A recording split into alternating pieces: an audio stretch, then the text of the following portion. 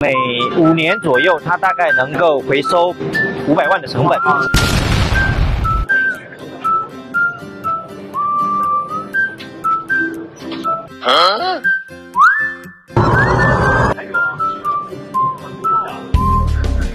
沙漠里面光伏板的清洁，然后这个设备主要就是它不用人工，全自动的，它在沙漠里面可以节省人工。它的费用比人工的话会省百分之三十左右。